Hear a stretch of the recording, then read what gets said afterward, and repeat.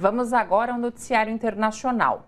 O número de mortos em incêndios no Chile subiu para 112 e as autoridades estimam que esse número possa ser ainda maior.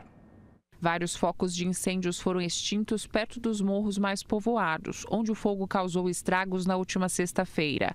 As imagens mostram áreas residenciais reduzidas a cinzas e longas filas de carros nas ruas.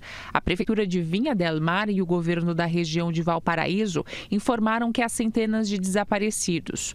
O presidente Gabriel Boric afirmou que essa é a maior tragédia no país desde o terremoto de 2010.